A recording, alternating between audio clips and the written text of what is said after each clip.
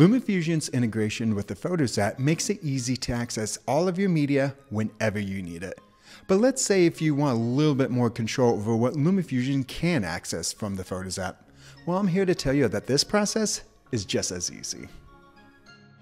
When you first install LumaFusion, you're presented with a pop-up that displays different options for photo library access. If you select Limited, this will allow you to individually select the media you want imported from the Photos app, rather than having the entire library displayed. You can access this menu anytime by selecting the Import Media button located in the Library window. Media imported from the Photos app will still be available in LumaFusion's Photos library.